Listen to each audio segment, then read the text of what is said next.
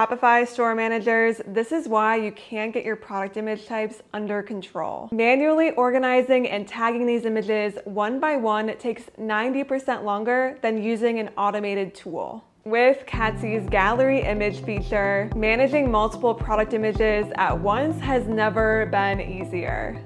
Instead of naming each image individually and tagging them one by one, you can group all of your images into a single gallery. Whether you have five images or 50 images for a single product, Catsy lets you include them all in one gallery, simplifying organization and tagging processes. No more repetitive work, just efficient asset management. The image gallery feature ensures that all of your teams have instant access to the right set of product images already grouped and ready to use. This empowers marketing, sales, and e-commerce teams to ensure consistency and quality across all channels. And when you're ready to push your products to Shopify and any other sales channels, simply select the photos you want to send and transform them to the right size and format for that specific channel within a matter of clicks.